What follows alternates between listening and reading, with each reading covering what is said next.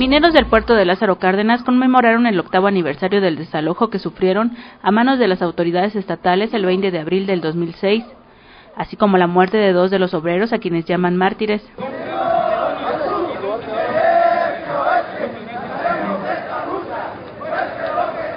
Los obreros de la principal acerera ubicada en Lázaro Cárdenas caminaron desde la avenida principal del puerto donde se ubica el monumento al minero hasta llegar al monumento a los caídos, donde celebraron una misa en memoria de sus compañeros. La muerte violenta e injusta de Mario Alberto Castillo Rodríguez y de Héctor Álvarez Gómez. Los trabajadores michoacanos tuvieron el apoyo de la Unión de Trabajadores Acereros de Pittsburgh, Estados Unidos.